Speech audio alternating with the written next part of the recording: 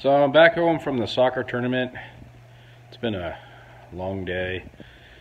We lost today, so decided to uh, come home. No reason to stay back in Austin. So back here with the boys. And uh, tomorrow morning, it's Monday morning tomorrow, so I will be getting back on to my routine of walking in the morning and uh, eating better. It wasn't the greatest weekend, so I haven't been on the scale in the last few days either. I didn't get on there before I left, and I didn't get on there today, obviously, because I wasn't here.